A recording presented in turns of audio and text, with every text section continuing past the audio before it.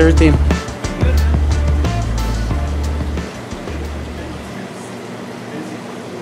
Busy?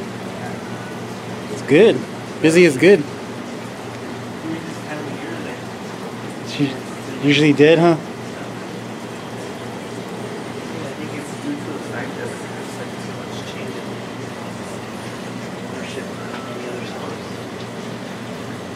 Uh, I'd rather come here. Full line of test kits. Is this the stuff you were talking about? Reflux? Uh-huh. So is this like that, um... Uh, Fluco. Yeah. Conazole. Same thing, or...? Um, yeah, it is. It is Fluco. It seems to be. It seems to people, people have proven it to also to work on fish, like fungal infections on fish. Okay. Because when you treat Bryopsis, that's fungal. It's like an antifungal that Fluco, and it just does something to the Fluco and just kills the problem. But it can also treat like the uh, fungal infections on fish. It's pretty cool. Power. Oh, I love this stuff. Garlic Extreme.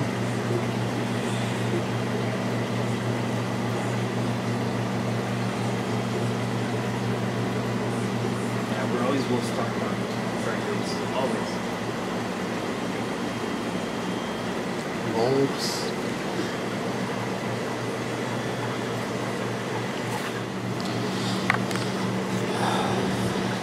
Oh yeah, I gotta check out your Zoas.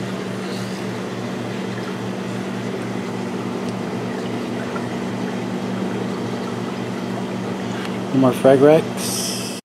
I always like coming here because they always have a lot of coral. Usually when you come here you can find some nice frags different variety, whatever you're looking for. LPS, SPS for sure, and uh, Zoas. Um, Alan let me know that he had stocked up on his Zoas, so I wanted to swing by here and uh, take a look. I know I just did a coral order online. I ordered from uh, Cultivated Reef.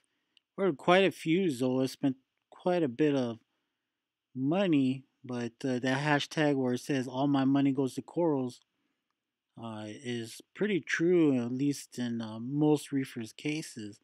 Uh, they had some nice Zoas right here. I'm going to take a look. I'm going to make sure I swing by and get something before I uh, take off.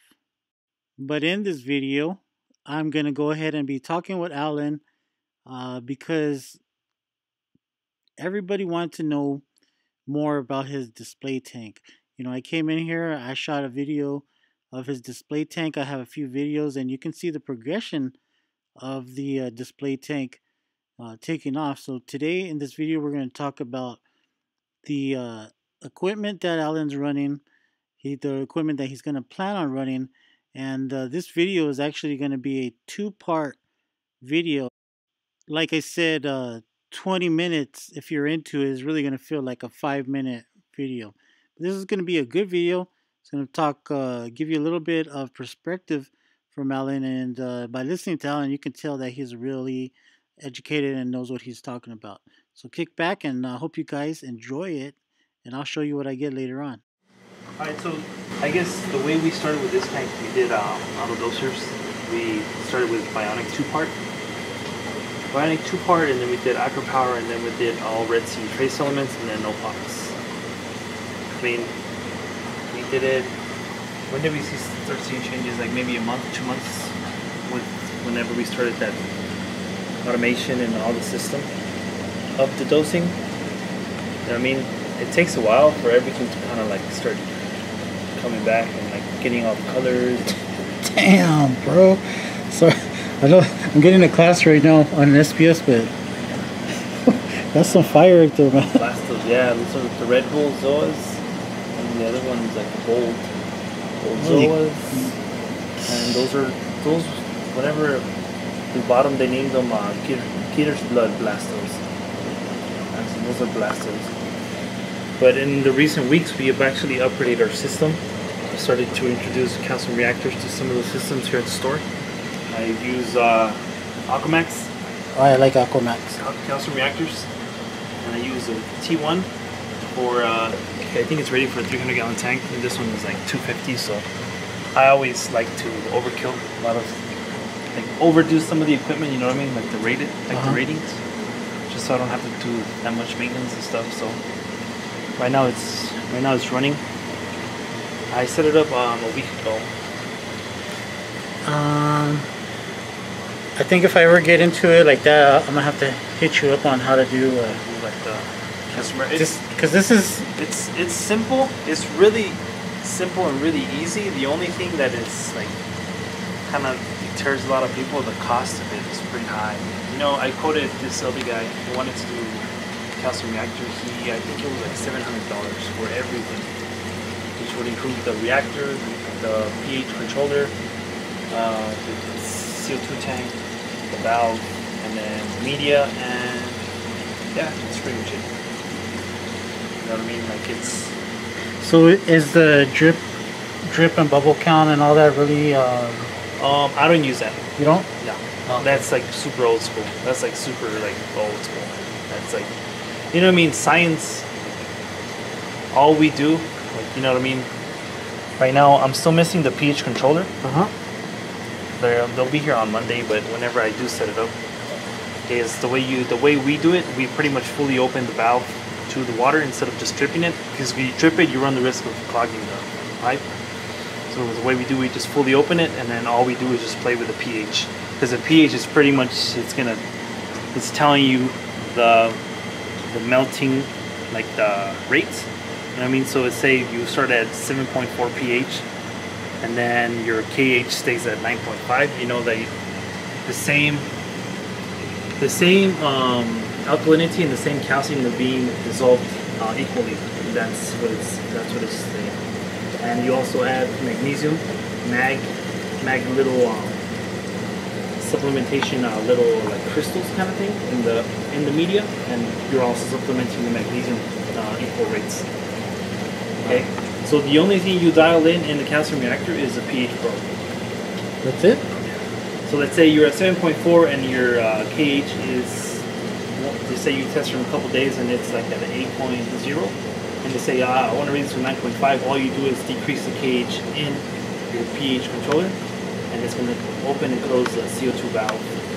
And from there, it's going to drop it, and then you test a couple days later and see if it if it's rising.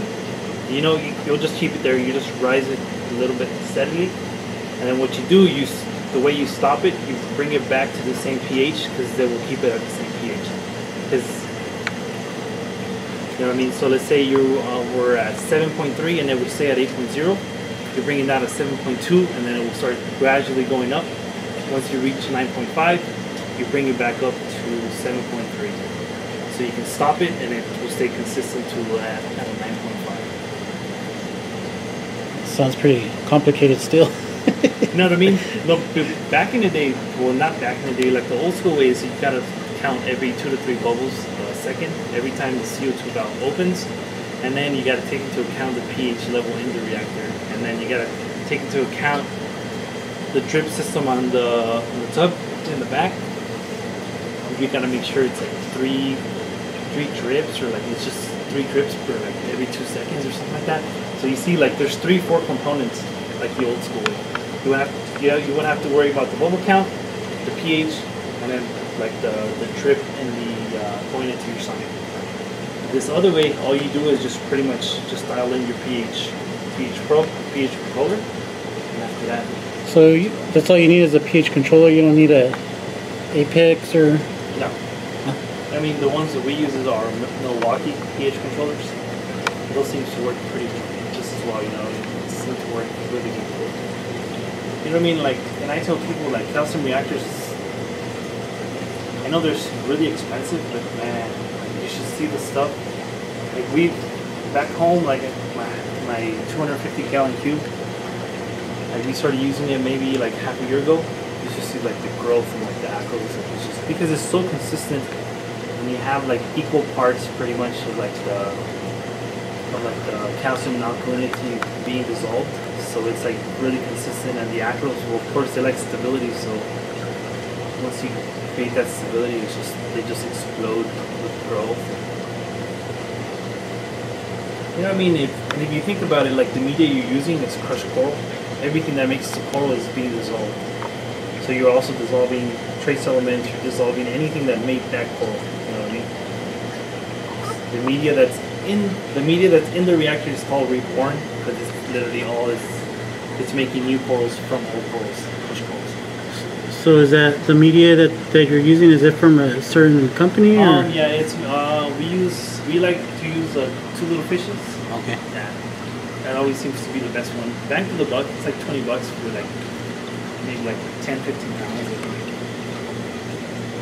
And then the mag, the mag little pellets also we use it from the uh, little fishes, Two Little Fishies. But everything, the calcium reactor and like the calcium reactor, the valves, those are Aquamaxx, and then the pH controller is uh, Milwaukee.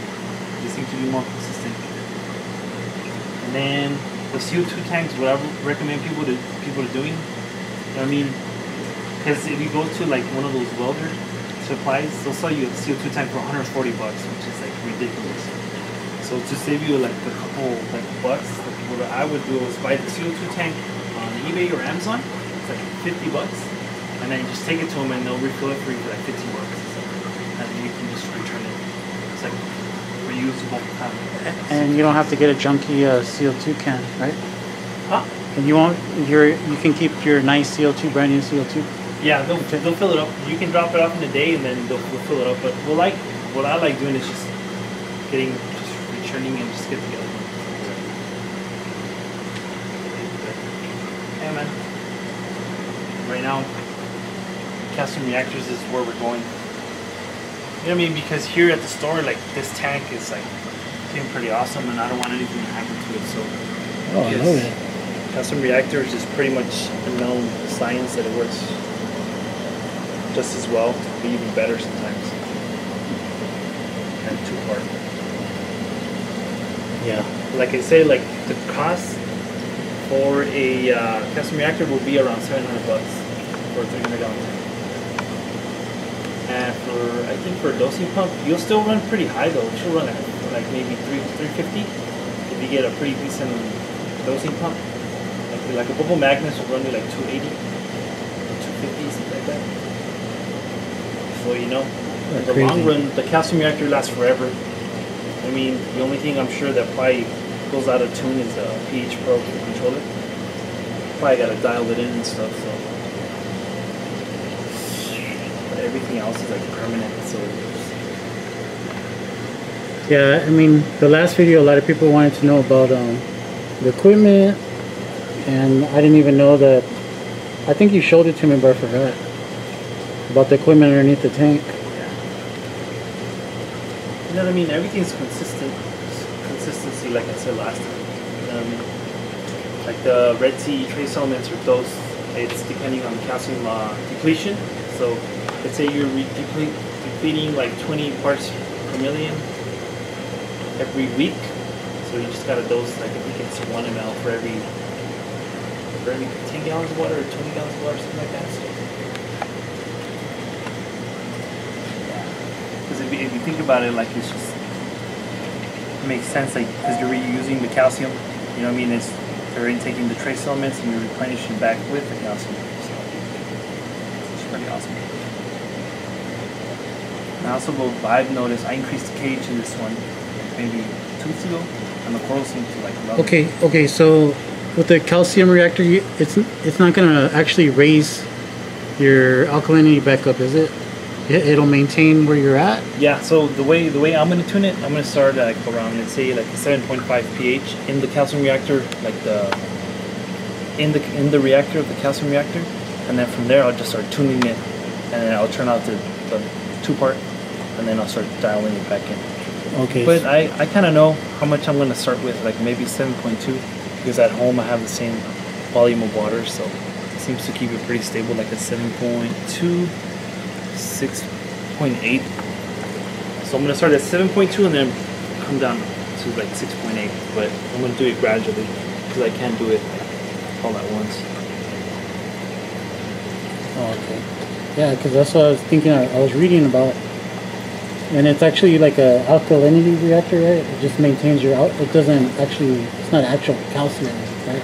Yeah, you know what I mean? Because calcium it has two parts. That's why. That's why whenever you sell bionic, is two parts. Yeah. You know what I mean? So what? So what happens is that's why I don't know if you if you guys have noticed like whenever you buy two part like the alkalinity and calcium, you have two little cups, and when you mix them, they turn white, and they're like wow, like it's just. So, so one of them, I think the component So that the alkalinity, the part one, that's the one that raises it, and then the second the second part is the one that binds it. That's why it turns white because it's binding like the calcium. It's like kind of like. That was cool.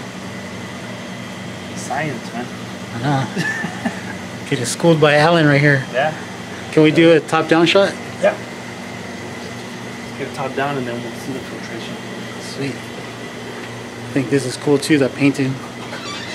Is this a, a series of a painting? Is he gonna paint the other part of the Um, fish? Or? Yeah. So right now it's like what he did. He just painted like the mandarin body right now. He's working on some zoanthids, some polyps. Oh, okay. Trying to see like how that goes and stuff. Yeah, I think it looks cool. Yeah. I, you know what I mean? Like we, I don't know. We we saw like the reef weeds, right? Was Uh-huh. the one that started doing that stuff. Yeah. And after that, there was a, like a local artist that I was like, ah, it's pretty cool if he if he gave it a try, you know. This is cool. It's popping. Give it a try and see maybe it works out. You know. Details pretty cool, like the way. And it's going dark too, so if I go to dark,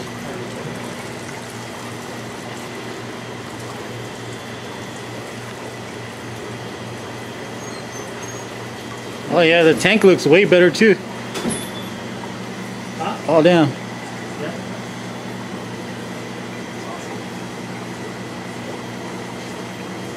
Oh, I love this tank.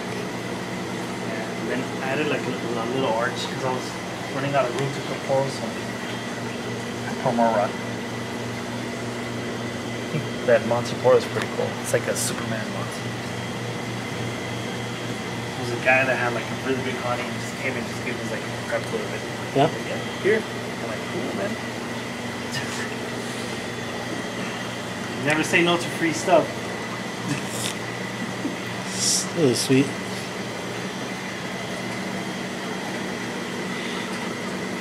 There you go. If your LFS doesn't have a nice display, I really wouldn't believe everything that they say.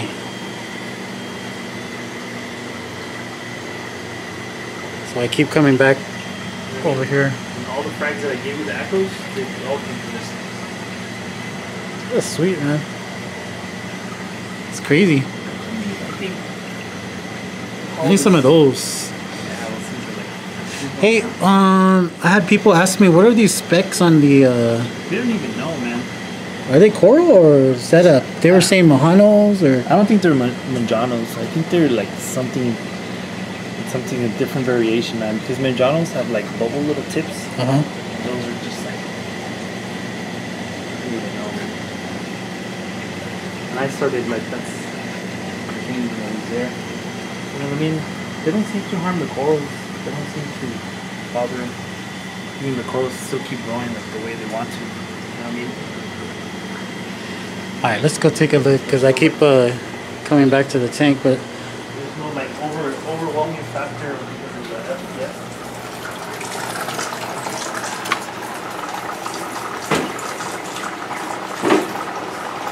Cleaning up a lot of the tanks. We were moving all the frags and stuff. uh huh. I have them as part two.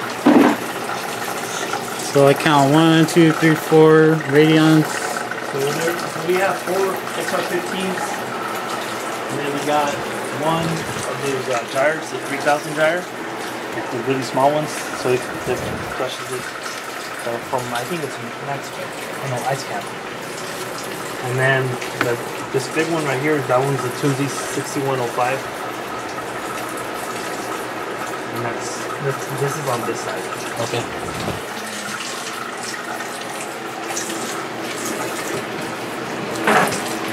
behind the scenes.